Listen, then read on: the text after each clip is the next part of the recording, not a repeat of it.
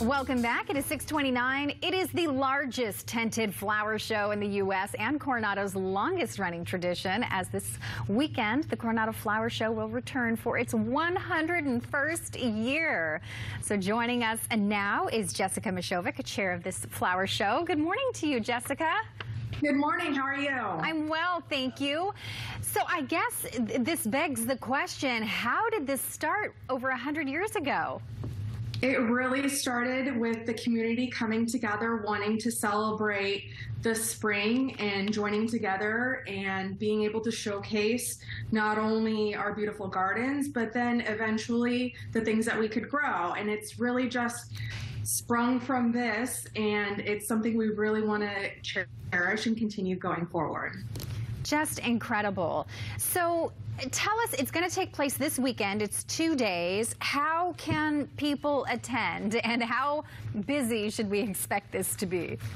Well, we hope it's well attended. Last year we had a great turnout for our 100th. It's Saturday and Sunday. Saturday judging is in the morning. So if you have a flower and you want to enter, please bring it Saturday morning from 7 to 9 a.m. But the show itself will start at 1 o'clock to 5 p.m. on Saturday. And then on Sunday, we're open all day from 10 to 4. And there's really something for everyone. We have a beer garden.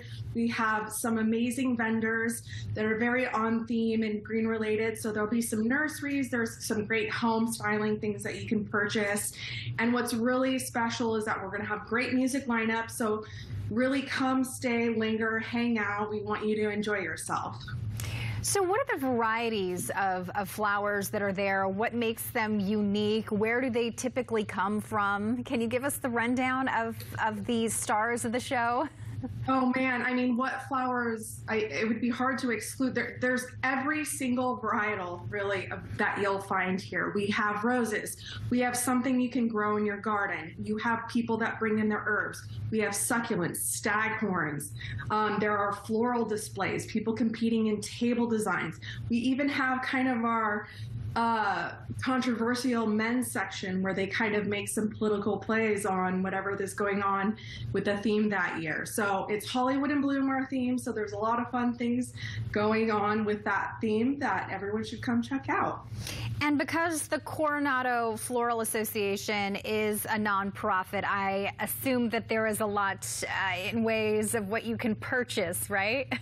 Absolutely, yes. This is a 100% volunteer organization. We have over 200 people come together putting this together. So it's quite an event and we do have lots of vendors coming and not only donating in kind, but also, you know, trying to sell some amazing, you know, aprons or we have, you know, solar, we have some amazing products. I'm not I, wish I had the list to give you, but there are so many. They're all online. We'd love for you to come, sip, shop, smell all the roses, and just take your time, hang out.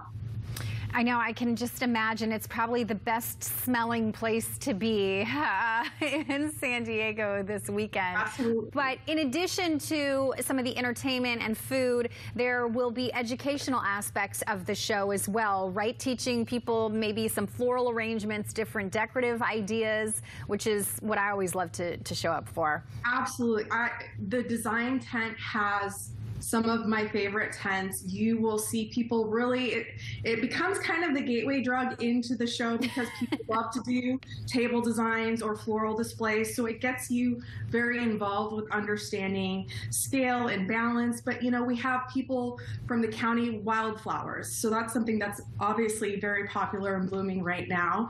And uh, we have a lot of people from the city coming and doing compost. We have emerald keepers on site that are going to have, there's going to be a lot of little activities for kids.